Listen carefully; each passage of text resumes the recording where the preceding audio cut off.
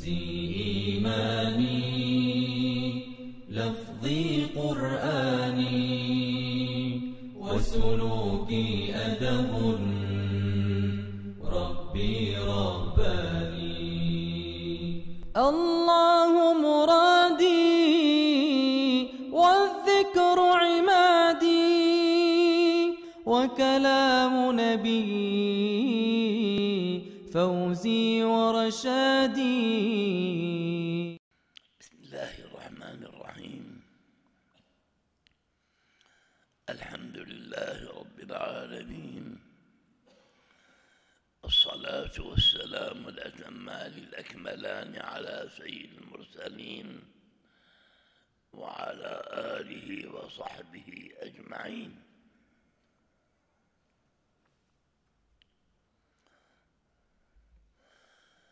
نحن في قوله سبحانه وتعالى وما يدريك لعله يزكى. نبحث بالزكاة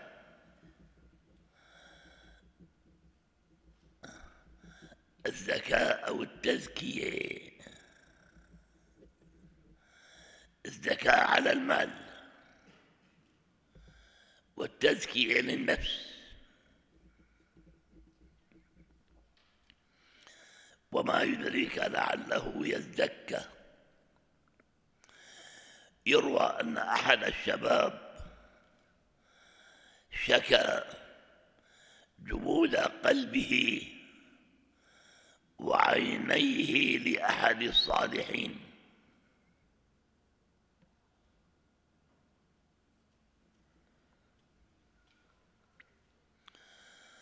فكان مما وصفه له اصحب أهل الخشوع.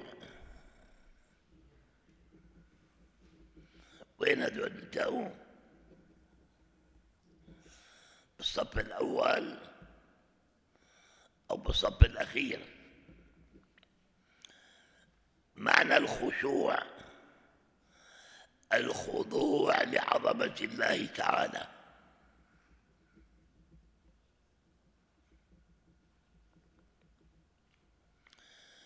ولازم الأتقياء من هم الأتقياء؟ الأتقياء اللي بيصلوا بالصف الأول. هذول الأتقياء بيركض على الصف الأول ويتعالى على مخلوقات الله. هذول هنين المقصودين.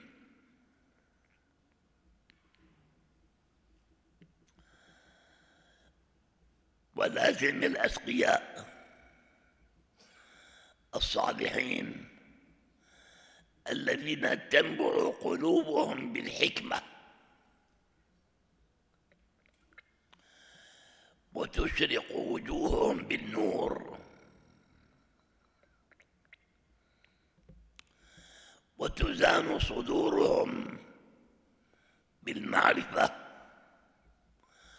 وقليل ما هم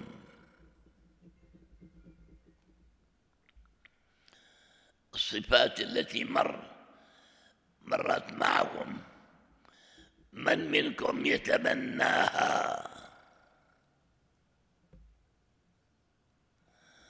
الذي يتمناها يكن منها. جمود قلبه وعينيه لأحد الصالحين. في حال ممكن صاير عنده جمود القلب وجمود العينان. فكان من الدواء له إصحاب أهل الخشوع. أنا عم دور على أهل الخشوع لأصحابهم. فرب العالمين أكرمني وتفضل علي بصحبة شيخنا يعني سبعين خمسة وسبعين سنة ثمانين سنة ليلا نهارا. تعلمت منه ما لا أتعلمه من الكتب.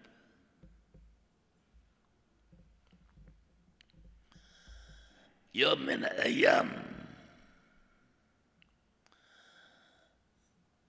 صادق بيك البغدادي ما حدا بيعرفون.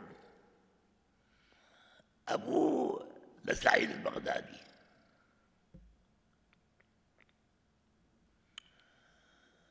مر لعنده أنا على البريد. كان مدير البريد والبرق. وشيخنا كان بمنين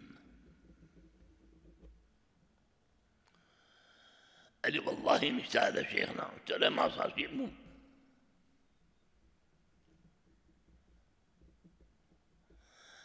قفل غرفته ومشي معي. الباص بالعمارة. كنا بالباص رحنا على التل.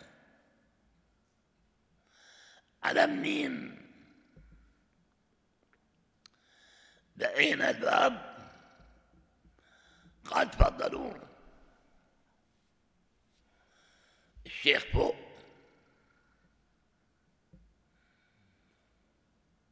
على الغرفة غرفة الانتظار.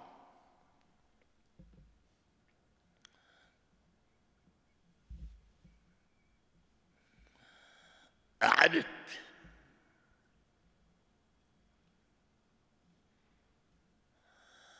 أنا وياه بالغرفة. طولنا. ما كان يجي الشيخ.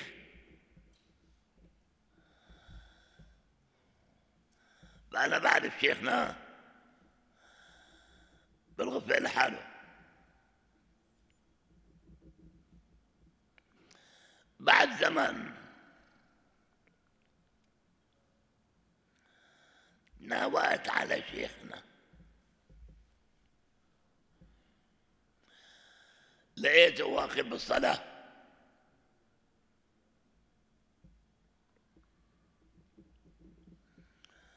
أنا بحياتي ما دخلت على شيخنا على غير وضوء. طالما الشيخ عم يصلي ولا لا أصلي معه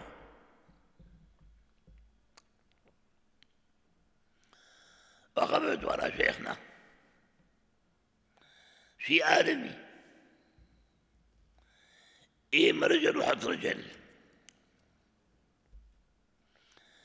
إيم رجل وحط رجل. ما خلصوا الركعتين اللي حسيت روحي طلعت. سلم. قال لي ليه جاي تكتر غلبة متشوش علي صلاتي؟ روح اقعد عند الضيف. وتاليعة هي قلعني. رحت قعدت عند الضيف.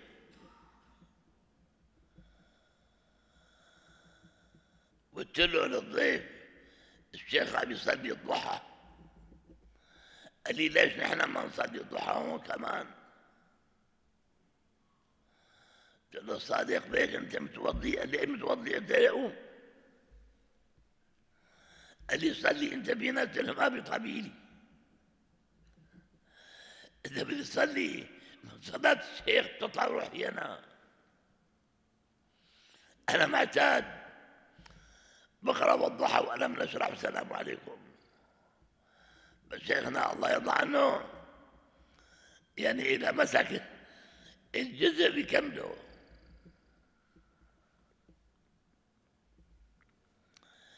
قعدنا نص ساعة. ثلاث أربع ساعة لخلص شيخنا وجد عنا. سلموا على بعضهم. وأنا رجعت الضيف على الشام. أنا راجع أنا وياه. قلت له أنا ما عاد أطلع مع حدا. قال لي ليش؟ قلت له اتبهدلت. قال لي ليش تبهدلت قلت له شيخنا قلعني قال لي مشان تتعلم شو نصلي سنة الضحى أربع ركعات. تقرأ بكل ركعة. جزء. جهنم كم ساوية؟ يعني ساوية يرفع إصبعته. ساوية يا قاسم.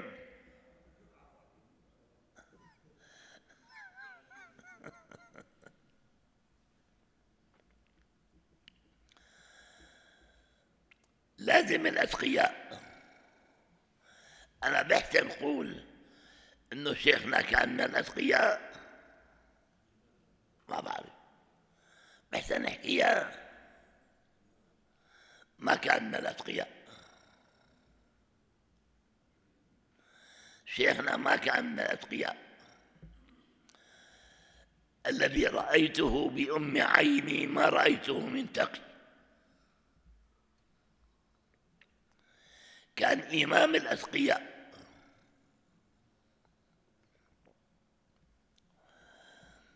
ولازم الأتقياء الذين تنبع قلوبهم بالحكمة وتشرق وجوههم بالنور وتزدان صدورهم بالمعرفة وقليل ما هم. أنا بعد شيخنا الله يرضى عنه ما رأيت على هذا المستوى حدا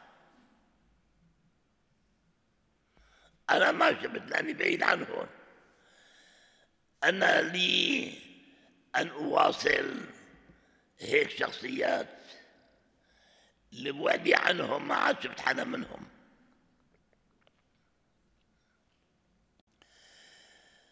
واجتهد. أن يكون لك هؤلاء أصدقاء. أنا بيجيني ناس بس بدنا نتبارك فيك. بس نقعد عندك. بس نبوس إيدك. لك أنا بوس إيدكم ورجلكم. بس بدلوا الأخلاق اللي أنتوا عليها. وهذا ما عم شوفه. حتى ولا نوادر. ومن الأسباب أني أنا بعيد عن هذا. ولو كنت قريب لرأيت منهم الكثير.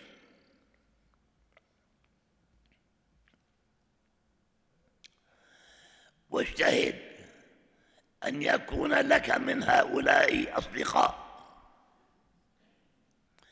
تلازمهم وتأوي إليهم. وتصل روحك بأرواحهم. هي ما ما عرفت شلون بصير أنا.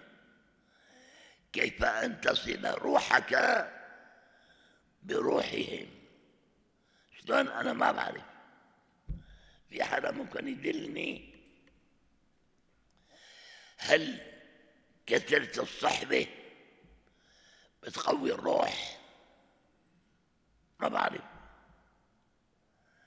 كثرة الصحبة مع أهل الله بتقوي لك روحك. لا انت مصلي محافظ على صلاتك. رافع الجماعات اللي ما بيصلوا.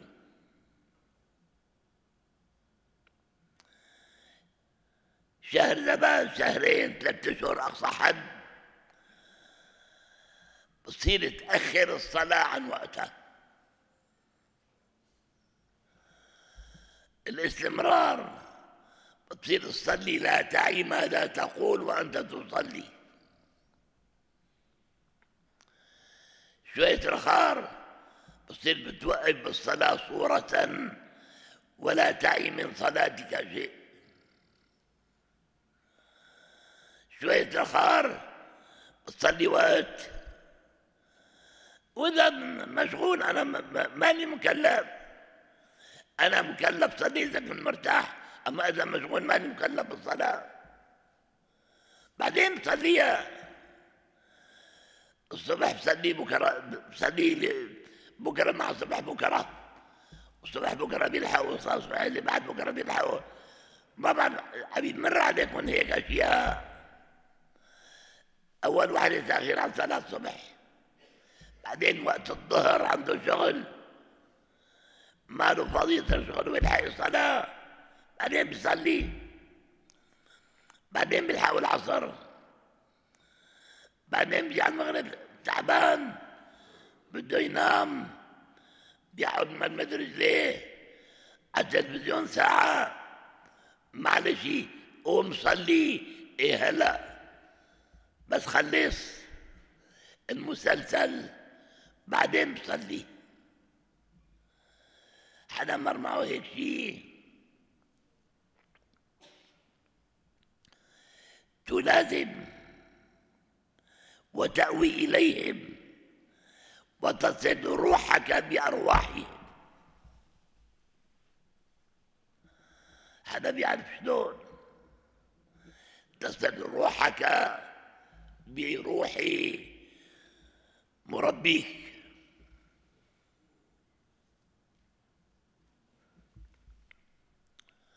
كان زماننا ما في لا موبايل. ولا تليفون أرضي. هيك كنا عايشين.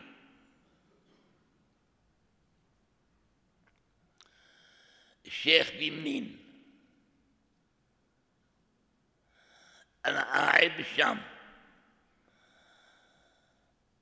ماسك المنخول عامل خول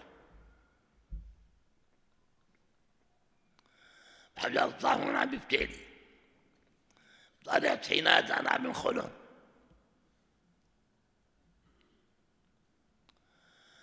جاني خاطر.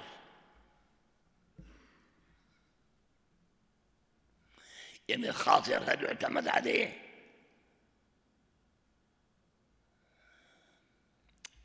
طنش. شو خاطر؟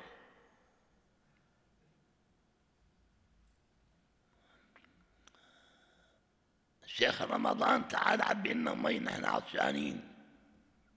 خاطر.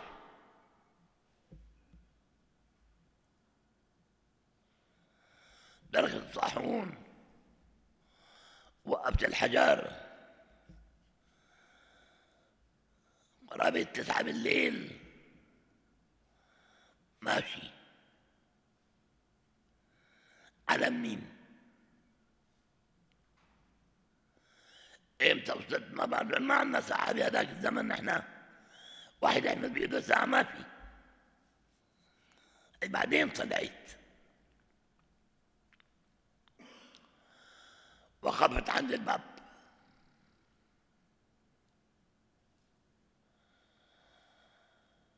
قديش ساعة بالليل ما بعرف. دق الباب ما دق الباب.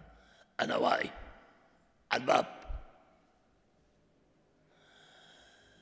ومستحي إني أنا أدق الباب بهالليل وأسمع يا رمضان خلي لك الباب مفتوح فوت. دفشت الباب مفتوح. بس. طلعت على الدرج لفوق قال لي الله يرضى عليك. عطشانين جبنا شوية مي من العين. حملت التركتين رحت على العين. عبيت التركتين واجيت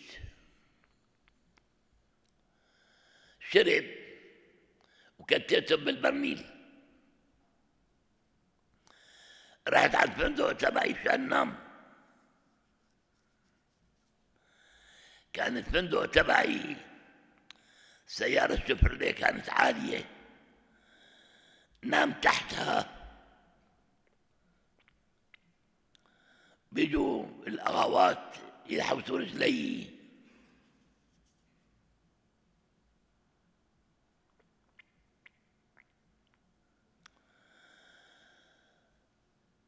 أنا نايم. شفت الشيخ بقى من النوم.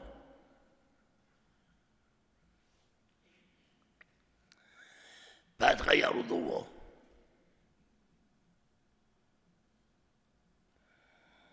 طلع. أرفص على البرميل بده يتوضأ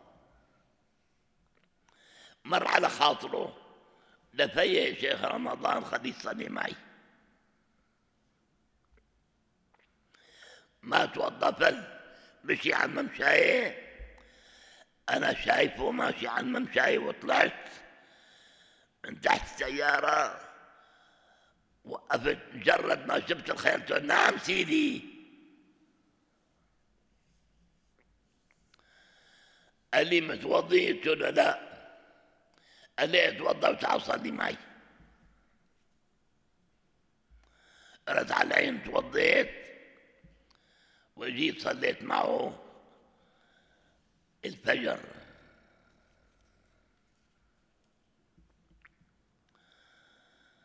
لي ابني أنا الساعة سبعة بدي انزل على الشام. حاضر. من صلاة الفجر للساعة سبعة شو بتساوي؟ شو لازم اشتغل؟ أذكر الله هلا مو وقتها. كنت ألبس لفه على طربوش. الاغباني إذا حدا منكم بيتذكرها طلعت على الكرم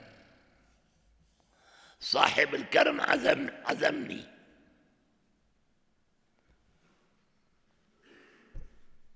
حوشتين عبي بالطربوش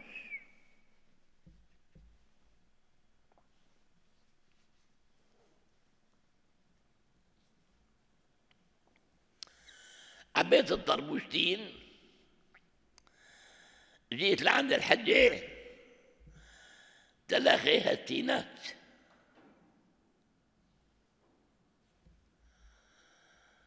كانت رحمة الله عليها إلى أسلوب في الحياة. ما فضت التينات حملت اللفة وطلعت لعند الشيخ. بدي أشوف شو عامل.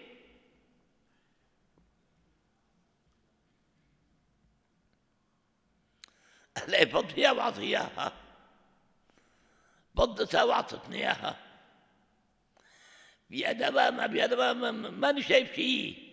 اعطيتها على راسي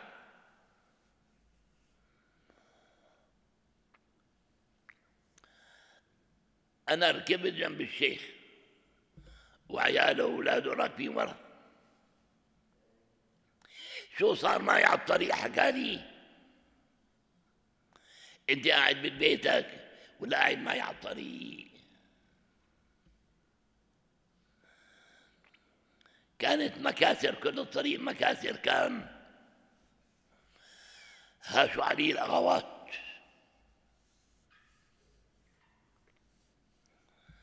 وين جاي؟ ما أنا بعرف أحكي بالعربي يعني. ما بيفهموا بالعربي. شو رأيكم؟ بيفهموا الأغوات بالعربي عرفتوا الأغوات مين؟ العوض اجتمعوا مع بعضهم سكروا علي طريق.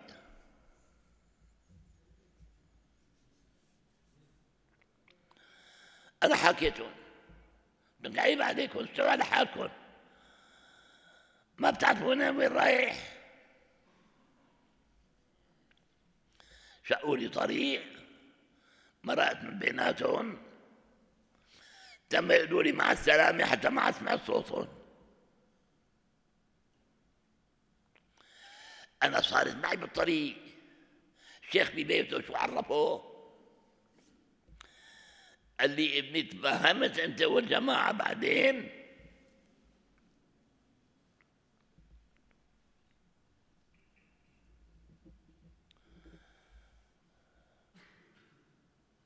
ما رضيت أعطي جواب.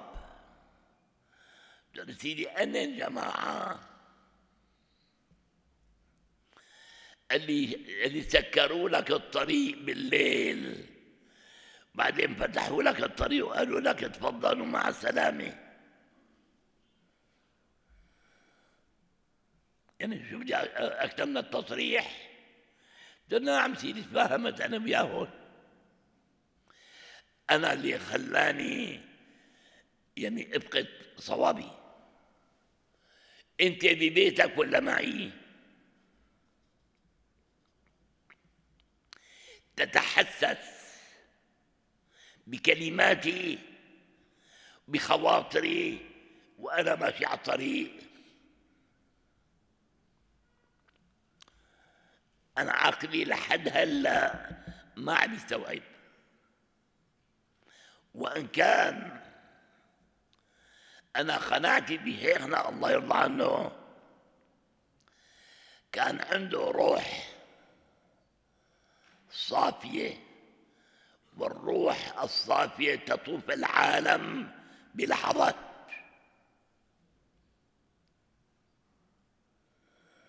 شايف شو صاير معي؟ فإذا هو شايف شو صاير معي أنا شو أعمل بحالي؟ إمتى عاد بإمكاني أنا أغلط غلطة مع مخلوق وهو شايفني؟ فإذا كان الشيخ لا يغيب المريد عنه ولا ثانية في الأربعة وعشرين ساعة فكيف بعظمة الله عز وجل؟ ولكن الآن الكهرباء عم بشوفكم كلكم في حدا منكم شاعر فيها إنه هي اللي عم تضوي علينا. أو قاعدين ضوء طبيعي. ولو رزق العبد مخافة الله عز وجل لوجد الله معه حيث كان.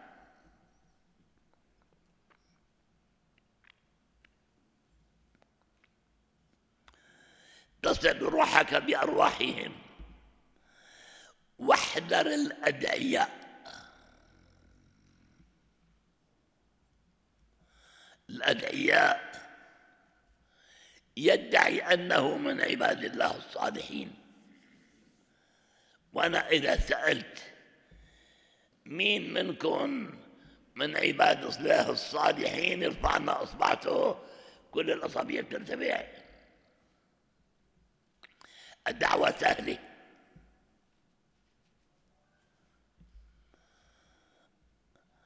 أنا طبيب. بكل الاختصاصات. مين مسلمني حاله أعمل له عملية إيه؟ بس يا محمد. ما معلوم عني إني أنا طبيب. ومرض مجتمعنا. نثق بمن يستحق ومن لا يستحق. متى شفنا شعرات ولفي على الراس؟ هذول من أولياء الله. وإن كان بهذا الزمان هذول صفيوا نوادر. يحط على راسه لفه ويعمل لحيه هذول صفيوا نوادر اليوم طلاب العلم. آه آه عروا قلبي أنا. شيخ أبو الخير الميلاني الله يرضى عنه. قال عن شيخنا بالغرفة اللي بالمشرقة تعرفها أنت يا شيخ محمد؟ أنا أبشعل البابور ساوي له شاي. شيخنا بيحكي للشيخ أبو الخير الميداني قال له يا مولانا كان طالب العلم يحمل كتاب يجي لعند الشيخ مشان يقراه يلاقي الشيخ عم يصلي الضحى. يستحي ثاني مرة يجي ما له متوضي. يجي ثاني مرة متوضي إذا شاف الشيخ عم يصلي الضحى يقتدي مع الشيخ. أما اليوم طلاب الكلية. عم يتربوا كبقية الطلاب. لم يبقى لهم مربي ولم يبقى لهم مخلق. كان الشيخ أبو الخير الميداني الله يرضى عنه قال له يا شيخ أحمد اللي الله قاسم له التوفيق بدور بلاقي واللي ما مقسوم له التوفيق لا بدور ولا بلاقي هذا الكلام صار له خمسين سنة. من خمسين سنة كان قلبه محروق شيخنا على طلاب العلم. اليوم أنا بشوف أئمة خطباء البعض منهم عم بفرض عليهم فرض. اختار أحد أمرين. طاقية على رأسك بس. تشير إنك أنت متدين. ما في. حوافة مثل بقية الناس.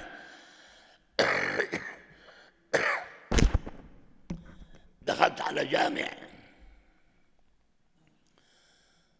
صليت العشاء مع الجماعة. خلصت الصلاة. جيت على المحراب. مين الإمام ما عرفته؟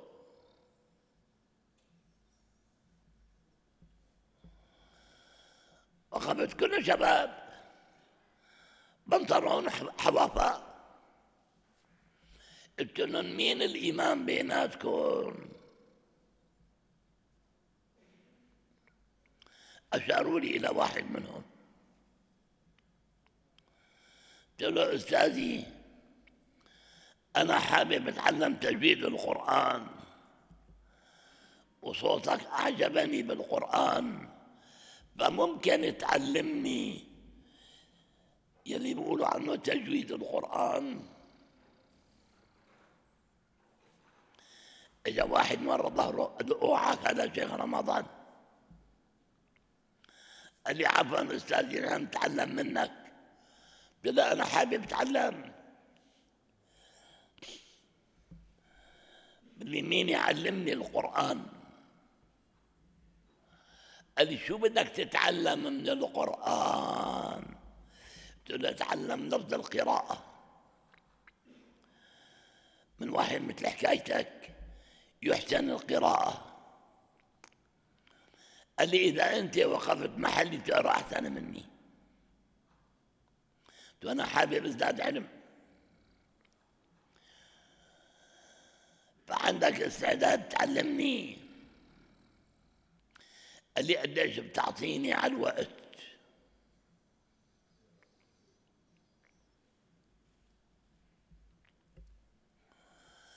هو قال لي قديش بتعطيني على الوقت أنا عادي طار. ما عاد بعال قلت له قديش بتعطيني؟ لارضى عنك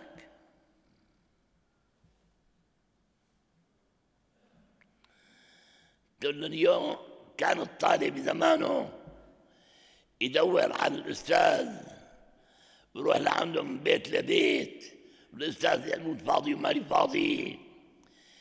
اليوم نحن عم ندور على طالب العلم يجي يتعلمنا نعطيه مصاري. بدي لي قديش بدك؟ قال لي أنا عم مازحك.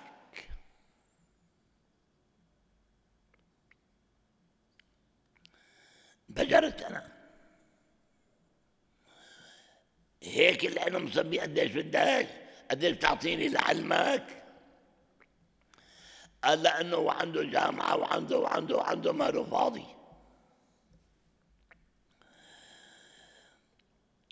تصل روحك بروح بأرواح واحذر الأدعياء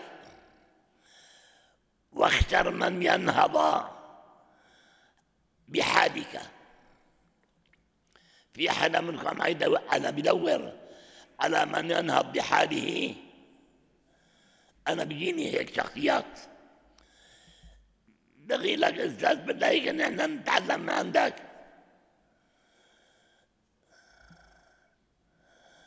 يلي بده يتعلم الطب. كم يوم يستغرق معه ليصير طبيب. ما بعرف. المرحلة الابتدائية الإعدادية الثانوية خلص من العلم أخذ البكالوريا دخل طبيب. كان في سبع سنين. سبع سنين طبيب. أما للاختصاص بده سنتين رخار مو سنتين.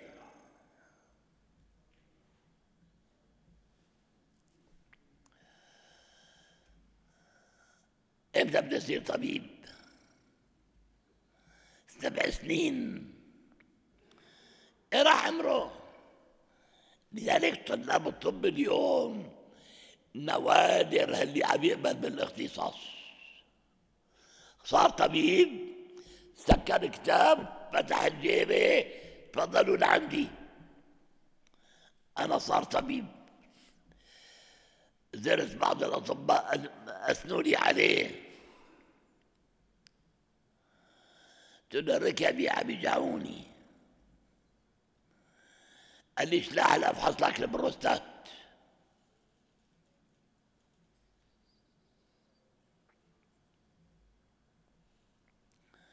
قلت له أنا اعمل لك ركبي.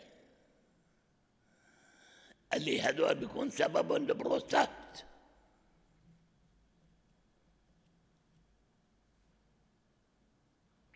السلام عليكم. يعني اللي فايت لعنده أنا بحطه بجيبتي.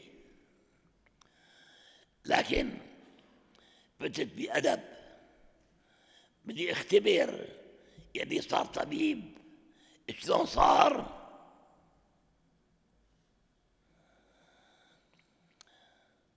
بجوز هذا في الطب واحد عم يقول لك اركبي.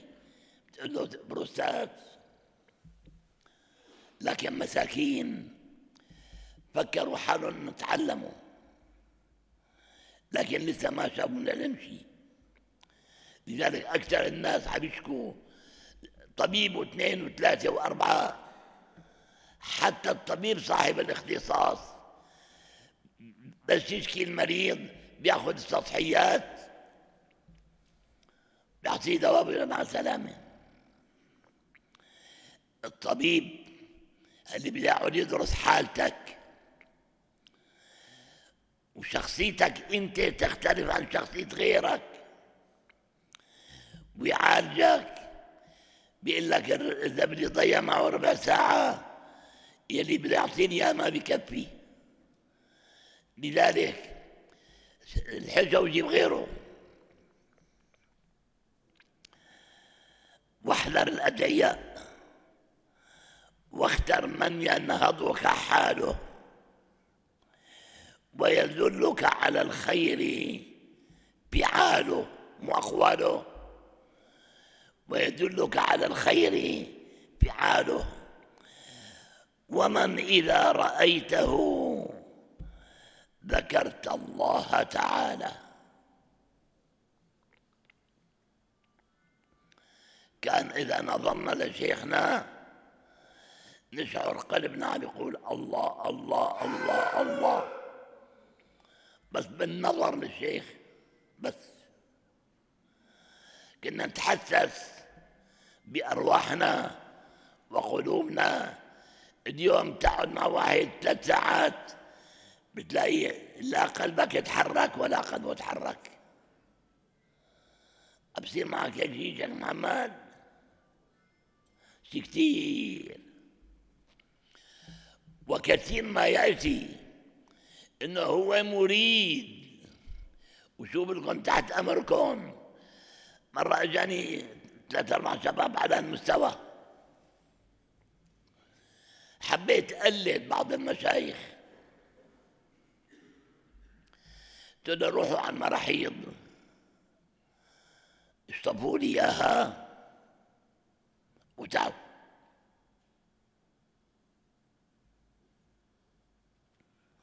راحوا غابوا شوية. ورجعوا أنا المرحاض اللي كان موسخ أكثر.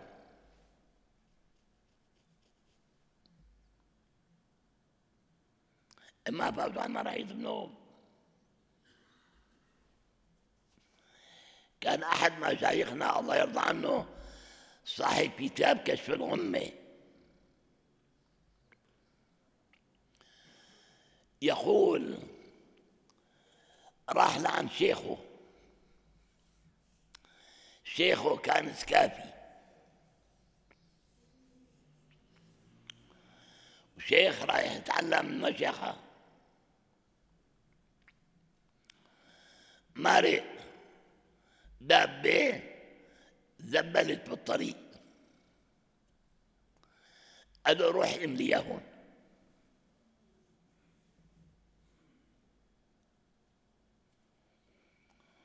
رجع بيجي ايمون قال له بجبتك ايمون حطهم بعيد.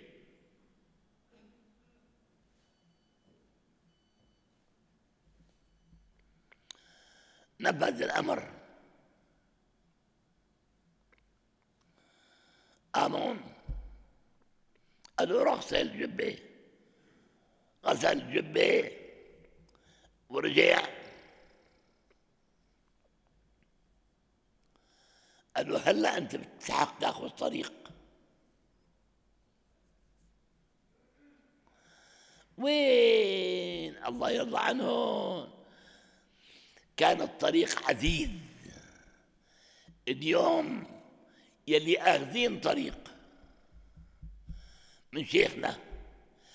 لا يزال على ذكر الله أو انتهى وقت الذكر وخلصنا.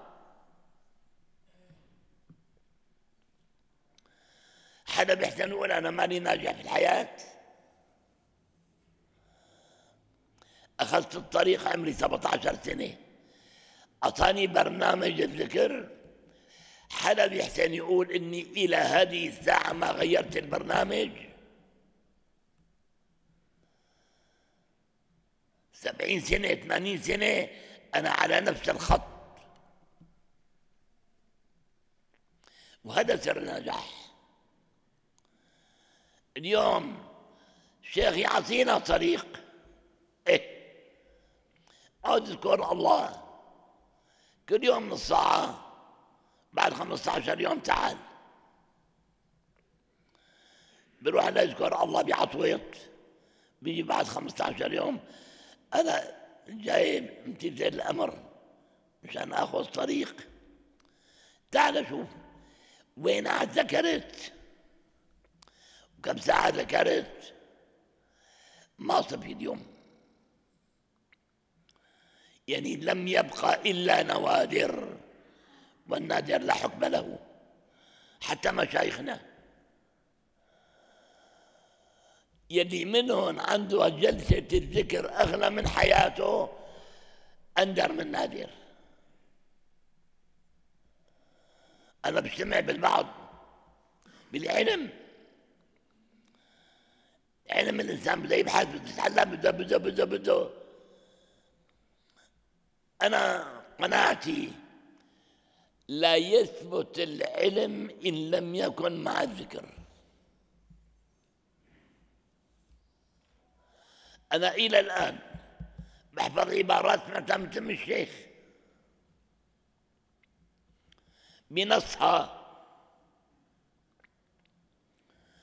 لأنه دخلت العبارة على ذكر على قلب منور ما عاد تنتسى مدى الحياة. صار بس نحن صرنا قرينا علم وصرنا. جاني واحد عالم.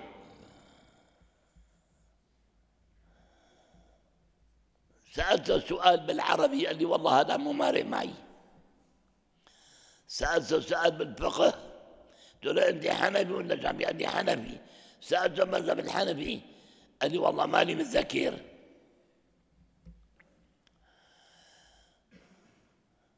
سألته شو عم تشتغل؟ قال لي والله عم اشتغل شغل إني أعيش بس وين العلم صبي؟ إلى هذه الساعة الله متفضل عليه بحفظ عبارات من تم الشيخ بنصها. لولا التكرار ما علق بالمخ. لا تكرار ولا علم ولا أخلاق ولا أنا برايي العلم اليوم ما عاد له قيمه بدنا ندور على الأخلاق. نجد العالم الذي يتخلق بأخلاق العلم. كم واحد مثل حكايتك شيخ محمد اليوم؟ عندك بالحلقة اللي خلفهم أبوك. على مستوى الأخلاقي العلمي. كم واحد بيطلعوا كتار.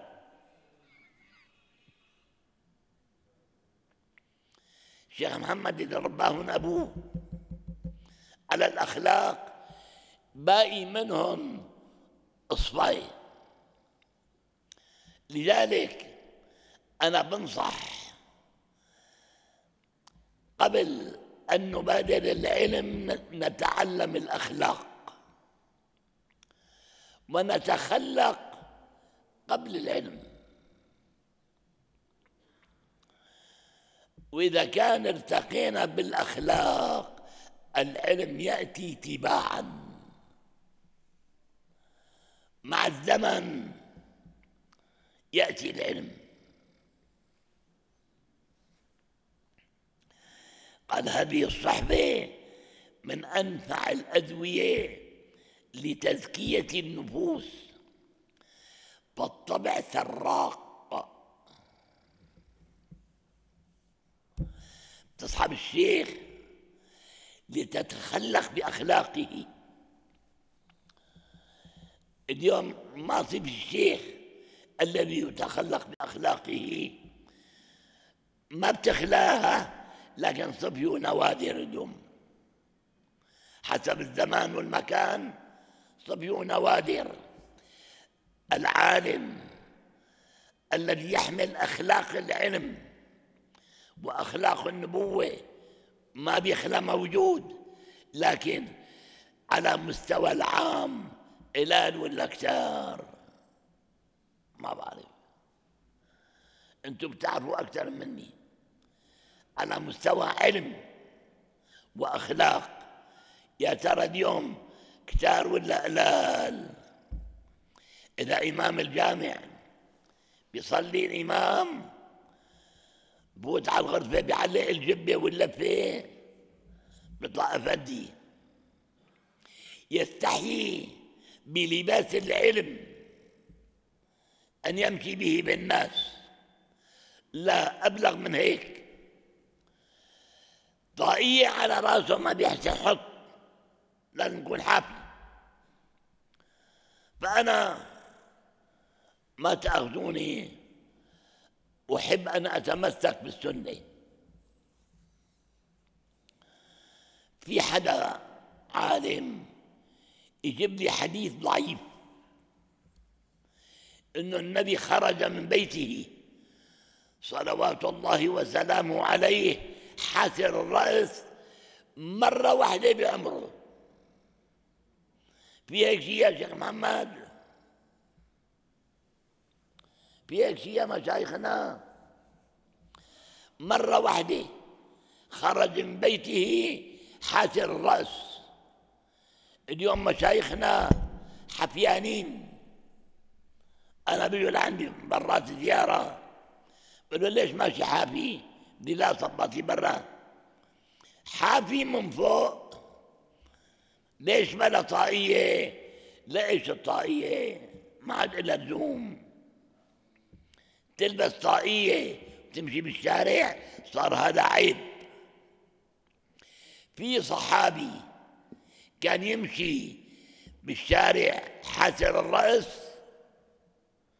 مو النبي صحابي. نحن كصحابة رسول الله صلى الله عليه وسلم بالأخلاق وبالصور بعيدين عن الصور. متمسكين بالأخلاق. قال يتأثر بالقلب والروح تستمد من الروح. فاجتهد أن تجد لك من؟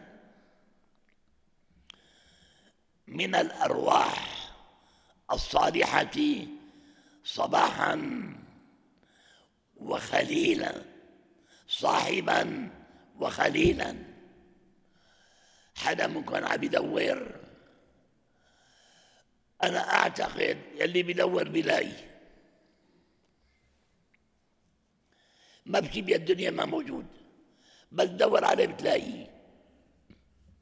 حدا منكم عم يدور؟ ليجد؟ ما بتخلى. أهل أول كانوا يقولوا لو خليت لخربت.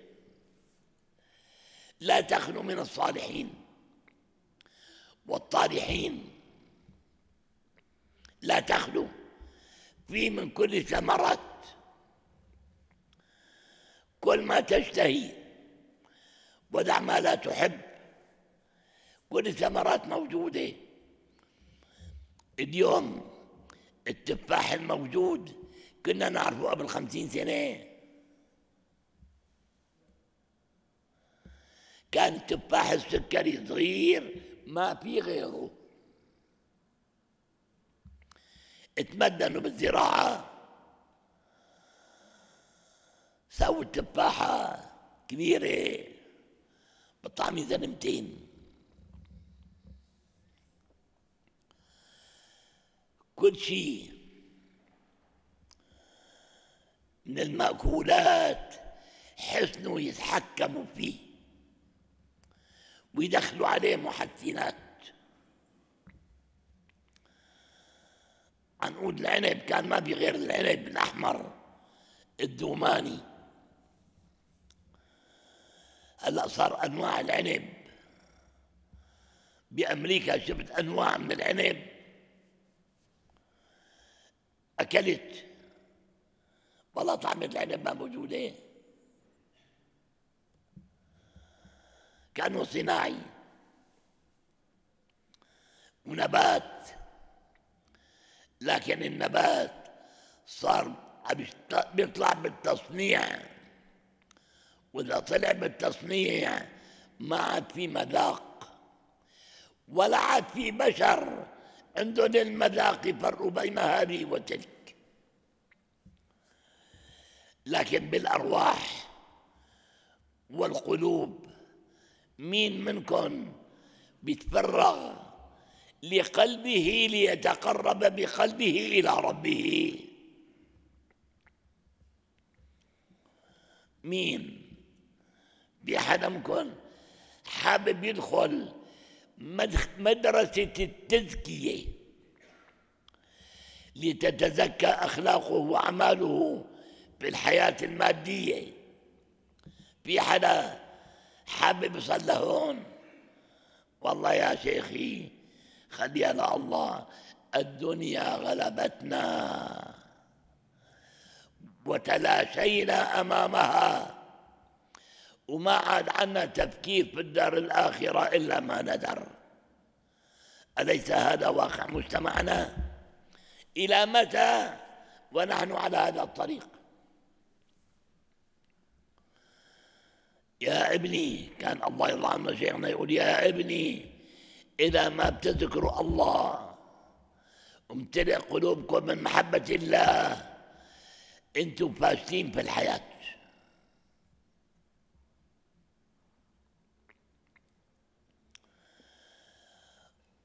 وبناء الحياة يبدأ من القلب.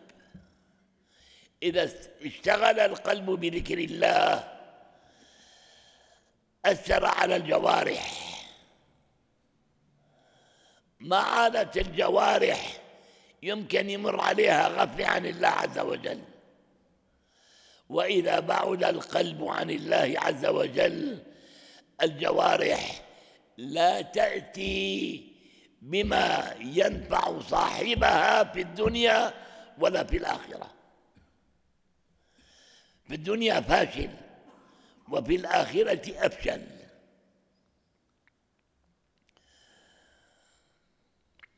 ولقد جعل الله تعالى الفلاح بالتزكية والخيبة والخسران بإهمال التزكية. فقال سبحانه وتعالى قد أفلح من زكاها وقد خاب من دساها. قد أفلح من زكاها. وقد خاب من دساها. شو يعني دساها؟ أهملها. هيك بيطلع معنا شيخ محمد. دساها أهملها. أو أعرض عنها. فقد فاز وسعد من ظهر من طهر نفسه وزكاها بالطاعة والتقوى وظفر بكل محبوب لله ولرسوله. وظفر بكل محبوب لله ولرسوله. إن شاء الله تكونوا على المستوى. ملكم حضرة الله عز وجل يكرمكم أن تكونوا على هذا المستوى. والذي يصل إلى هذا المستوى يكون سعيدا في حياته أو تعيسا. ما بعرف. أنا لا أعلم. الذي يسلك هذا الطريق يكن تعيسا في الحياة أو سعيدا. الله يرضى عن مشايخنا. الشيخ عدنان كان سعيدا أو تعيسا كان أسعد السعداء في حياته وبعد مماته بفضله وكرمه سبحانه وتعالى. الذي يسلك الطريق ويستقيم يجد السعادة في الدنيا والآخرة. والذي لا يستقيم لا يجد السعادة في الدنيا ولا في الآخرة. لا نظن أن حياة أكل وشرب. ومكيفين على كيفنا؟ مثل ما بالنهار يصير. ليست هذه الحياة. هذه الحياة الجزئية. الحياة الكلية التي نتمنى أن نصل إليها بعد شوية. يعني بدها شوية. ويمكن أقل من أيام سنصل إليها تلك الحياة. لما تنزل بالقبر وتسأل عن أعمال وأخلاق مرت عليك في تلك الحياة وكم زرعت لله وكم زرعت لغير الله. سيحصد عبد الله ما كان زارعا. فطوبى لعبد كان لله يزرع إذا أنت لم تزرع وأبصرت حاصدا ندمت على التفريط في زمن البذر. إذا أنت لم تزرع وأبصرت حاصدا ندمت على التفريط في زمن البذر. أنت بدك تشوف الحاصد لما بتنزل بالجورة وحدك. وبسكروا عليك البلاطة. ما عاد في مجال تتنفس. وانت وحدك. وأتاك ملكان شفيقان رفيقان. هما من خلق من خلق الرحمن. يسألك من ربك؟ هون بتلوك كلماتك حتى تحسنها وتنطق بها. هنيك ما بيطلق كلماتك. هنيك بتطلع الحقائق الموجودة فيك فتجيب عن الحقائق. فإذا كان حضرة الله عز وجل غالب على قلبك وعقلك وجوارحك بتقول الله ربي. وإذا كان غالب على جوارحك دنياك بتقول الدنيا ربي. وإذا غالب على جوارحك أهواءك تقول أهوائي هي طريقي الذي أسعد به. فلنكن مع الله لنكن سعداء في الدنيا وفي الآخرة. وإن تخلينا عن الله تخلى الله عنا. ومن أوكله الله إلى نفسه. ندم على ما فات وسار في طريق معوج. أسأل الله العظيم رب العرش العظيم أن يكرمكم بالطريق السوي المستقيم الذي تصلون به إلى سعة رحمة الله ورضاه. لتكونوا سعداء الدنيا وسعداء الآخرة. وأسأله سبحانه وتعالى أن يغفر لي ولكم ولجميع المسلمين والحمد لله رب العالمين. فاعلم أنه لا, لا إله إلا الله. لا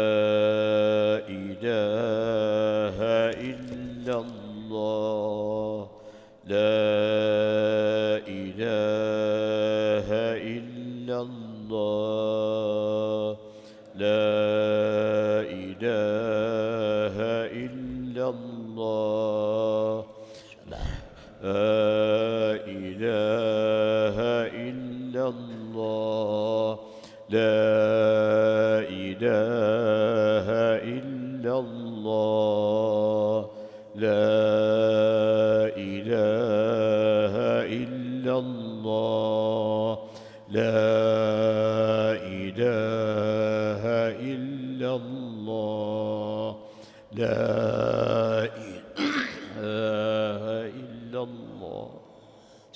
محمد رسول الله صلى الله تعالى عليه وسلم. اللهم تقبل منا هذه تهليلة مباركة.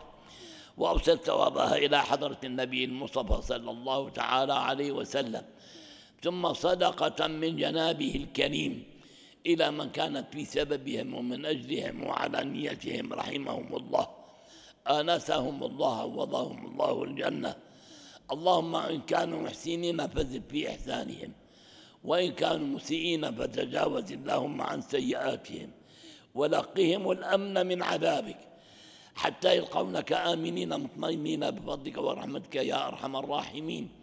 واغفر اللهم لنا ولوالدينا ومشايخنا والحقوق علينا والمسلمين أجمعين. وسلام على المرسلين والحمد لله رب العالمين. الفاتحة. عزي إيماني. لفظي قرآني وسلوكي أدب ربي رباني. الله مرادي والذكر عمادي وكلام نبي فوزي ورشادي.